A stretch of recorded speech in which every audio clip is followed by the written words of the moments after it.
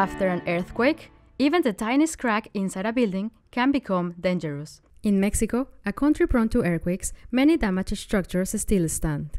Nuclear technology will now help check the safety of those buildings. The IAEA is providing Mexico with special equipment to verify the integrity of the buildings that have suffered structural damage. Non-destructive testing helps to quickly and efficiently evaluate the integrity of critical buildings. This equipment will help national experts assess whether those buildings are safe to live in, can be repaired, or need to be demolished. The new equipment will establish Mexico as a regional center to provide emergency support in the case of natural disasters in Latin America.